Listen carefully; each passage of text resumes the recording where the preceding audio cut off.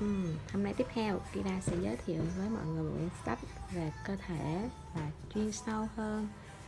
Đây mình nói là bìa cứng nè, cổ rất là to. Mình cùng khám phá về cơ thể của mình nha. Đó, đây là những cái thông tin về cơ thể của mình. Cái khoang miệng nè, mình sẽ đi từ cái khoang miệng nội soi bắt đầu nè.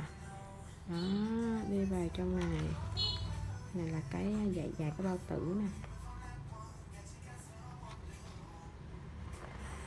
Đó, nó sẽ có nhiều cái à, cái mao mạch nè. Trời, rất là sống động luôn. Về máu. Về cái tim nè.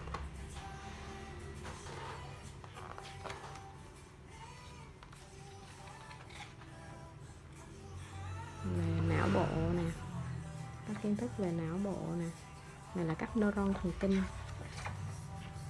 Sau đó mình sẽ qua cấu tạo của con mắt. Rồi, đó là những cái bộ phận cơ bản trên cơ thể của chúng ta. Quyển này rất là hay nha mọi người.